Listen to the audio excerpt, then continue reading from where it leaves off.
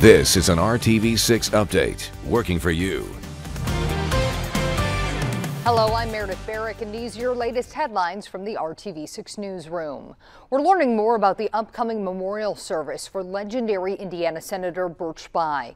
We first told you over the weekend the service will be at noon on May 1st in the south atrium of the State House.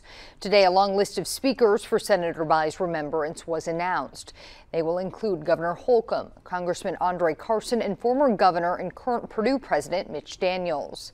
Bayh will be eulogized by his sons, former governor and Senator Evan Bayh and Indianapolis attorney Christopher Bayh. Birch Bayh died at the age of 91 back on March 14th. Our Hiring Hoosiers initiative is all about connecting you with jobs, and this week we're looking ahead to the jobs of the future.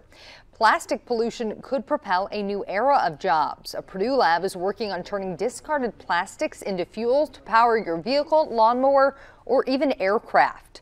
Purdue researchers point to a study which shows a majority of plastics end up in landfills or just as litter.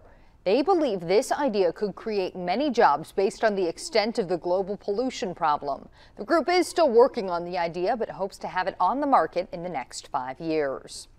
For more information on this idea and jobs of the future, you can head on over to hiringhoosiers.com. Todd. It's going to be a pretty unsettled weather pattern here over the course of the next 36 to 48 hours with numerous opportunities for showers. Now, it's not going to be raining at all times. There's a lot of dry hours mixed in, but you probably want to have the umbrella handy. Some showers move through this evening across the area. Then as we head into the overnight hours, as the warm front continues to work through, additional showers will greet you for your Thursday morning commute. And then throughout the day tomorrow, we'll just continue to deal with these scattered showers off and on, and maybe even a little bit more in the way of steady rainfall as we enter Friday morning. It's not until probably early morning on Friday that we get rid of the clouds and then eventually the sunshine returns, setting us up for a beautiful Friday afternoon. But until then, again, umbrellas will be needed across the area. Temperature wise, we'll be in the mid to upper 60s as we get into your Thursday afternoon.